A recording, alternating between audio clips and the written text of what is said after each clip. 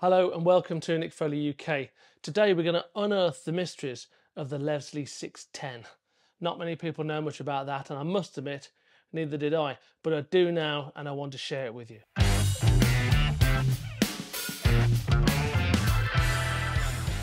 So here we are. I've turned it round and I've taken the back off. Had some rather spiffing casters on here, like um, furniture casters, because that's, you know, it's a piece of furniture, right?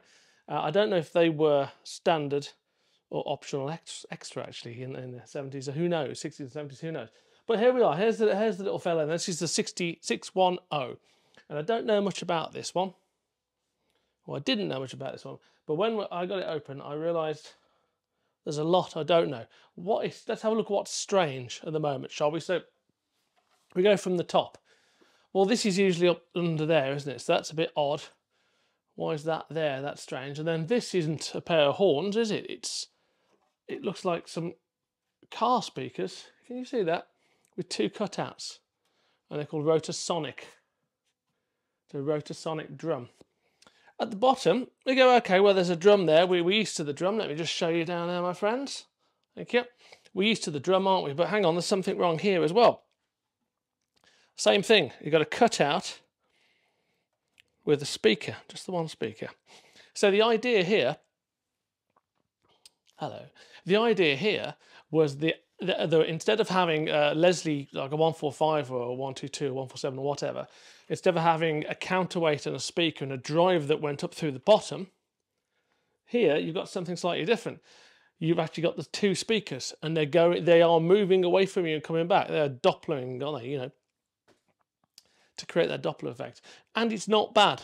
It's not bad. It's not the same, but it isn't bad, actually. Okay, so we notice that. Then we go, well, hang on, something wrong here because we're used to having this bottom speaker here. We're used to having this bottom speaker, of course we are, but it's dog-legged off the, off the spindle. So what's, what's going on there? Well, that's a stationary speaker.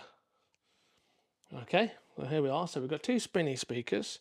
We've got a stationary speaker. What on earth is going on? Well, it gets even funnier because in here, and hopefully you pick this one up on this camera, in that corner there is yet another speaker. So, got speakers all over the place. And a friend of mine bought this on eBay as a bit of a a bit of a chance purchase, to be honest. Uh, frankly, just for the, the cabinet, amazing. To see what we could do with it. And now the, the Rotasonic sounds okay, and the stationary speaker is interesting because he, if he was to uh, use it as a Deep Purple tribute band, for example, you could have stationary for, you know, your Deep Purple in rocks and your fireballs and that kind of stuff, and then you could have slow, fast, and stop on the on the Rotasonics as well for your Stormbringers and uh, Burns and what have you. So interesting, but it's complicated. Let me get down here and we'll see how complicated it, it really is. So as you can see down there, let's see if I can move my little my little helper here. I've got a little helper, look. There he is. All right. There's a lot there's a lot going on down there. I don't know if you can see how many of the tubes just go off into the distance. And the reason is, and this this is where the the signal comes out as well. One, two, three, four. All of the outputs. So basically, this Leslie was really made for your kind of your theatre organ kind of thing, you know. Um, so I'll put my little notes there. Brilliant. So we've got the two rotors there. We've got five speakers knocking about, and the theatre organs that used to work particularly well for it were the R series. Now, what were they? One R100s and H100s, I think, were the ones. And the idea is that you could output separately different sounds, some into the vibrato chorus effect of the Rotasonic, and some into the stationary. You wouldn't want, I don't know, a bell or a whistle sound out of a theatre organ going through a slow turn of a rotasonic, would you? So that was that was the kind of the plan that you could output them into different places. Pretty clever, really. It's uh, reasonably powerful. It ranges from I've seen someone say they're 65 watts. I've seen someone say they're 150 watts. I imagine there's a combination that can go there because it is a four-channel uh, valve amplifier.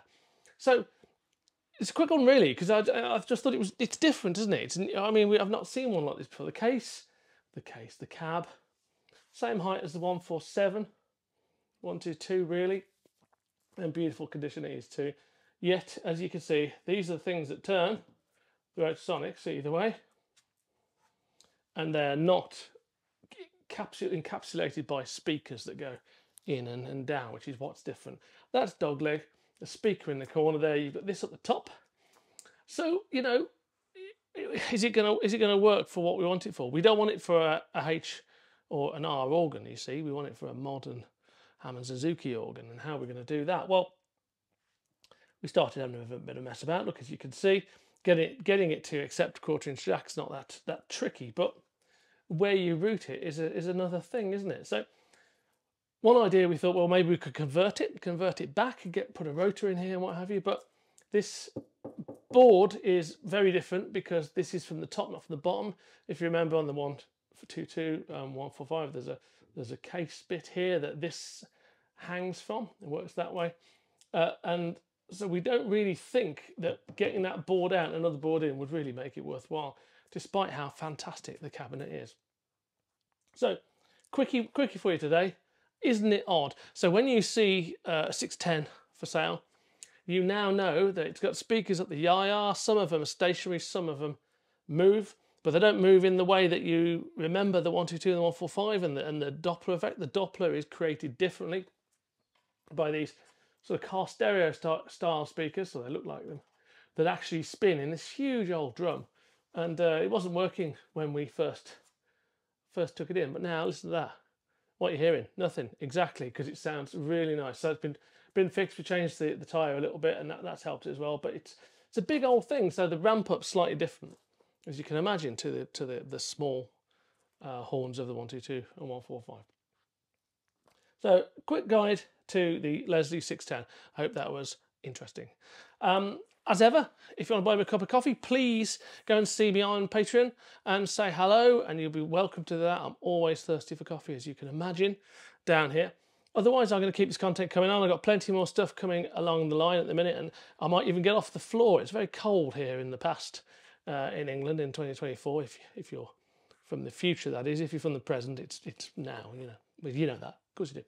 So, just a quick one for you. Uh, I'll get the front back on this now, and uh, we're looking at to uh, getting it spinning, and we're going to put a quarter inch on it, see what we think of it, and see if it's good enough to run as a as a Deep Purple kind of tribute thing. Um, one thing I will say, I did want to remember, it's very heavy. So remember that, friends.